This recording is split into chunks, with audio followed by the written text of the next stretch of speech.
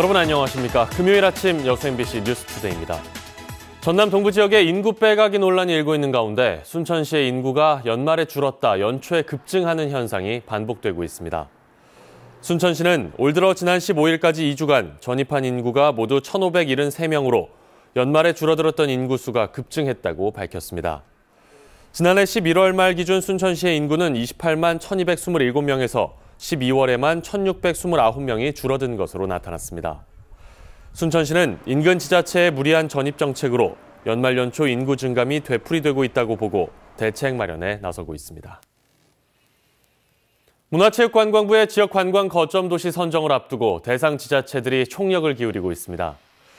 문체부 관광거점 도시위원회가 최종심에 오른 여수 등 9개 지자체를 대상으로 심사와 발표를 예정 중인 가운데 지역별로 관광 잠재력을 부각하고 단계별 발전 전략을 구체화하는 마지막 점검에 나서고 있습니다. 여수시는 특히 해양관광과 휴양을 겸하는 웰리스 개념을 기반으로 관광도시의 잠재력을 부각한다는 계획입니다. 문체부는 지역 관광 거점 도시로 최종 4개 기초지자체를 선정해 2024년까지 5년간 국비 500억 원을 지원한다는 방침인데 현재 최종 심사 대상에 여수와 목포, 전주시 등 전국 9개 지자체가 올라 있습니다. 아파트처럼 호텔 객실을 분양받아 임대료를 받는 이른바 분양형 호텔이 요즘 여기저기 생기고 있는데요. 은행 이자를 훌쩍 뛰어넘는 고수익을 보장한다는 말에 분양형 호텔에 투자했다가 손해를 보는 피해가 속출하고 있습니다. 강서영 기자의 보도입니다. 전남 여수시 돌산읍의 한 호텔 앞. 객실을 분양받아 임대한 투자자들이 임대료를 지급하지 않은 호텔 운영사의 퇴출을 요구하고 있습니다. 임대료를 토해내고 운영사는 물러가라! 물러가라! 물러가라! 물러가라! 계약대로라면 투자자들은 5년간 임대료로 매년 객실 분양금의 7%를 받기로 돼 있었지만 호텔 운영사는 운영 6개월 만에 경영이 어렵다며 약속된 금액을 지키지 않기 시작했고 세 달 전부터는 수익금을 아예 한 푼도 안 주고 있습니다. 노후 대비를 해서 이렇게 평생을 모았던 노후 자금을 여기다 투자하신 분들이 많이 있어요. 지금은 4개월로 잡으면 한 7억 7천 정도 됩니다. 148분. 호텔 운영사는 임대료를 지급하지 않는 이유에 대해 대답을 회피하는 상황. 이유를 여쭤봤는데 예, 그러니까 그 이유에 대해서 제가 일절 어, 말씀드릴 내용이 없습니다. 투자자들은 받지 못한 임대료와 호텔 운영권을 되찾기 위해 민사소송을 제기했지만 소송에서 이기더라도 운영사 재정 상황이 나쁘면 임대료를 다 받지 못하는 등 피해를 고스란히 떠맡게 될 수밖에 없습니다. 한 7천만 원 정도만 있으면 투자해서 한 130만 원 정도의 그 수익금을 받을 수 있다. 그 7천만 원도 그냥 받, 저기 있던 돈이 아니고 그 집 대출을 조금 받았거든요. 원금은 하나도 못 갚고 있어요. 분양형 호텔 연합회에 따르면 이처럼 임대료가 제대로 지급되지 않아 소송을 겪었거나 진행 중인 분양형 호텔은 전국 140여 곳 중 123곳. 전문가들은 운영사에서 일정 금액의 보증금을 맡기는 등 피해를 최소화할 수 있는 방안을 마련해야 한다고 지적합니다. 미리 뭐 예를 들어서 10억이면 10억 호텔 규모에 따라서 네네. 미리 이렇게 담보를 잡아 놓으면은 보증금처럼 잡아 놓으면은 나중에 배짱 영업을 하더라도 손해배상을 받을 수가 있잖아요. 문제는 그게 의무가 아니에요. 계속되는 분양형 호텔 피해. 이를 위한 대책 마련이 필요하다는 지적이 제기되고 있습니다. MBC 뉴스 강서영입니다. 순천 봉화산 인근 주민들이 민간공원 특례 사업 추진과 관련해 난개발을 우려하며 강력하게 반대하고 나섰습니다. 주민들은 어제 시청 앞에서 집회를 열어 순천시가 삼산과 망북마을에 추진하고 있는 민간공원의 경우 공원이 필요하지 않은 곳인데도 순천시가 아파트 2천여 채대를 건설하겠다는 민간업자들의 사업 제안서를 승인해 난개발을 부추기고 있다고 지적했습니다. 민간공원 특례 사업은 민간 사업자가 도시공원 전체를 매입한 뒤 70% 공원을 조성해 지자체에 기부 체납하면 나머지 면적에는 주거나 상업시설을 건설할 수 있도록 하는 제도입니다. 여수 영취산 고압 송전탑 설치에 반대하는 산주와 주민들이 공사 저지 의지를 밝히고 나섰습니다. 여수 영취산 송전탑 건설 반대 추진위원회는 어제 산신재단에서 집회를 갖고 송전탑 공사로 환경이 무차별적으로 훼손되고 산주들의 재산권이 침해받고 있다며 한전 측에 공사를 즉각 중단하라고 촉구했습니다. 추진위는 특히 주민과 의회에 거듭된 대책 요구에도 시 행정이 손을 놓고 있다며 여수시에도 비판의 수위를 높이는 한편 공사를 강행할 경우 육탄 저지에 나서겠다고 밝혔습니다. 한국전력공사는 여수산단 신증설에 대비한 전력 안정화를 위해 2017년부터 송전선로 건설 사업을 추진하고 있으며 지난해 8월 영취산 일대 공사에 들어갔습니다. 한글을 늦게 배워 수칠, 수필집을 발굴했던 어, 발간했던 순천 할머니 작가들 기억하시죠? 시민작가 프로그램을 통해서 재래시장 상인들과 주부 또 직장인들도 생활 속 이야기들을 글로 담아내고 있습니다. 박민주 기자가 취재했습니다. 웃장으로 불리는 순천의 대표적인 재래시장입니다. 재래시장 상인들이 상가 사무실에 한데 모였습니다. 지난해부터 준비해온 상인들의 그림책 수필집이 발간됐기 때문입니다. 책 속에는 상인 8명이 풀어낸 수십 년 된 세상 사는 이야기가 실렸습니다. 처음에는 그냥 아무 생각 없이 그냥 와서 그렸거든요. 그랬는데 오늘 책이 나왔다 하니까 내가 다시 잉태하는 그런 기분 같아요. 엄마들이 모여 만든 영어 그림책 읽어주기 동아리.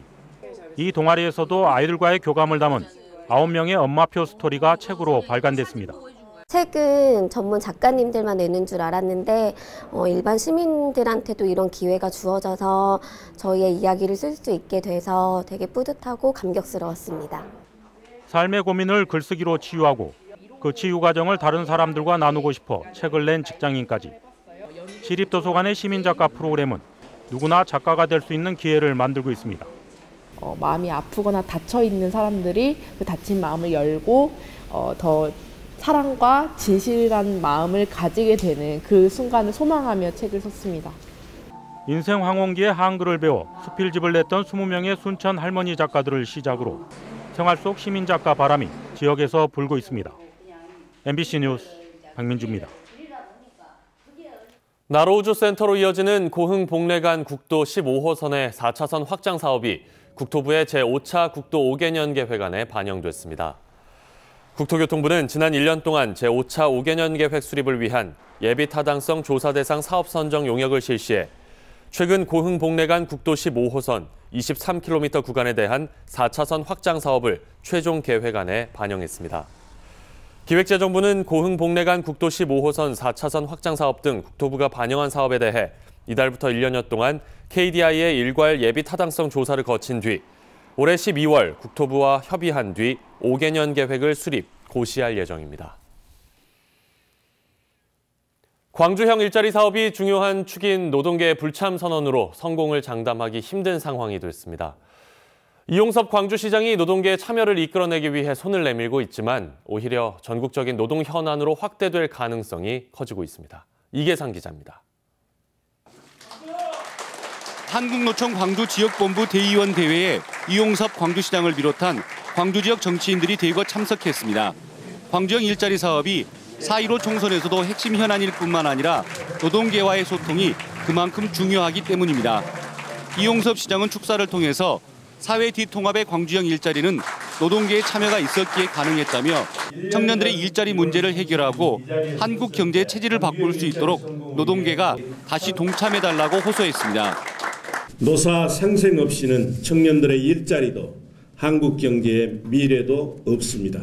시대를 위해 짊어져야 할 짐 우리가 나눠지고 함께 갑시다. 이 시장이 지역 노동계를 달래기 위해 공을 들이고 있지만 노동계 반응은 여전히 싸늘하기만 합니다.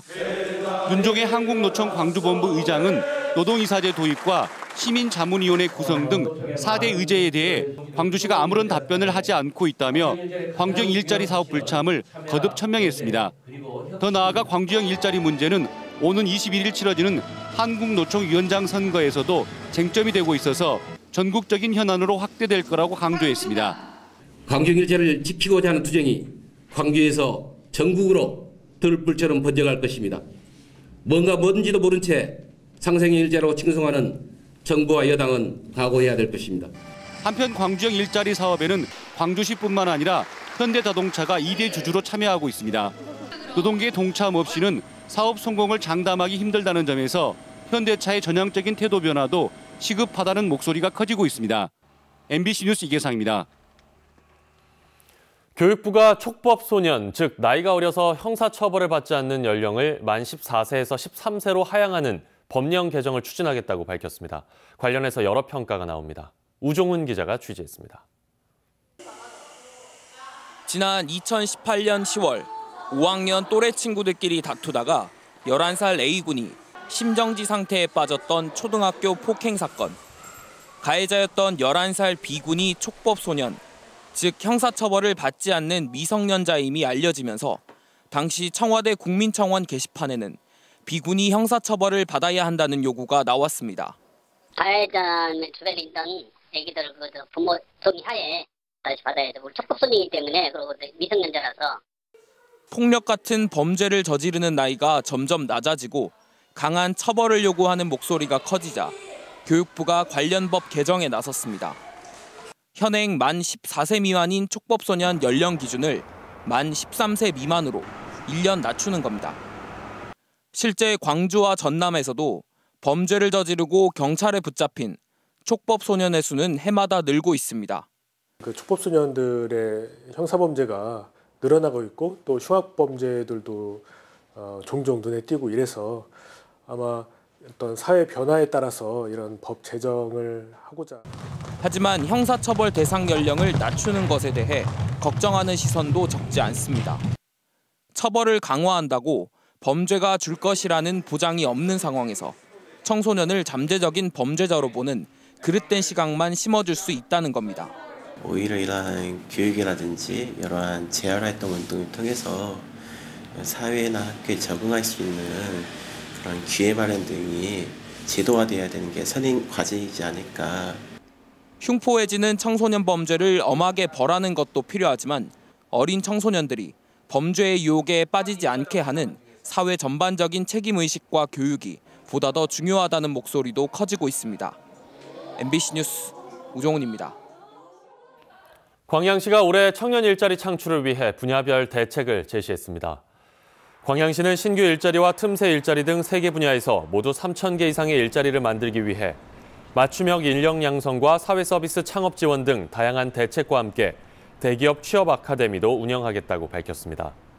또 문화예술과 농업 경영 분야에서도 일자리를 확대해 청년들의 지역 정착으로 이어질 수 있도록 힘쓰겠다고 강조했습니다.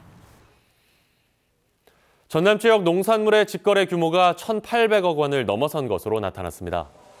전라남도에 따르면 지난해 전남 지역 농산물의 직거래 매출액은 전년에 비해 21.6% 증가한 1,832억 원을 기록했습니다. 유형별로는 로컬푸드 직매장이 1,030억 원으로 가장 많았고 온라인이 314억 원, 직거래 장터가 142억 원으로 집계됐습니다. 지자체는 설 명절을 앞두고 지역 농산물 판매를 확대하기 위해 SNS를 활용한 판촉 행사 등을 추진할 예정입니다. 방송법 위반 혐의로 재판에 넘겨진 이정현 의원이 유죄 확정 판결을 받았습니다. 대법원 3부는 지난 2014년 당시 청와대 홍보수석이었던 이 의원이 세월호 참사와 관련해 KBS 보도국장에게 전화를 걸어 부당하게 편집에 개입한 혐의에 대해 2심과 같이 벌금 1천만 원을 선고했습니다. 부터 보시면 철원이 영하 9.9도, 서울도 영하 4.6도를 가리키고 있는데요. 한낮에는 기온이 오르면서 중북부 지역의 한파특보도 나흘 만에 해제될 가능성이 있고요. 주말인 내일은 더욱 뚜렷하게 기온이 오름세를 보이겠습니다. 역시나 미세먼지는 갈수록 짙어지겠습니다. 오늘과 주말인 내일은 아침 시간 서울 등 중서부 지역에서 공기가 일시 탁해지는 정도지만요. 일요일에는 고농도의 스모그가 밀려와서 전국적으로 영향을 주겠고요. 수도권과 영서 지역에만 가끔 비나 눈이 조금 지날 뿐이어서 먼지를 해소해 주긴 어렵겠습니다. 오늘도 우리나라는 고기압의 가장자리에 들어서 구름이 많이 지나고 있는 모습이고요. 수도권과 충청 지역 곳곳에서는 연무나 방무도 끼어 있습니다. 오후부터 동해안 지역에서는 비나 눈이 내리면서 건조특보가 다소 완화될 여지가 있는데요. 강원 산지와 경북 북동 산지로는 내일까지 1에서 5cm가량의 눈도 내려 쌓이겠습니다. 한낮 기온 보겠습니다. 서울이 5도, 대전 6도, 광주와 대구 7도, 부산은 10도까지 오르겠습니다. 절기 대안이 들어있는 다음 주 초반에는 대체로 맑은 하늘이 예상되는데요. 설 연휴를 앞두고 남쪽에서는 비나 눈이 내릴 전망입니다. 날씨였습니다.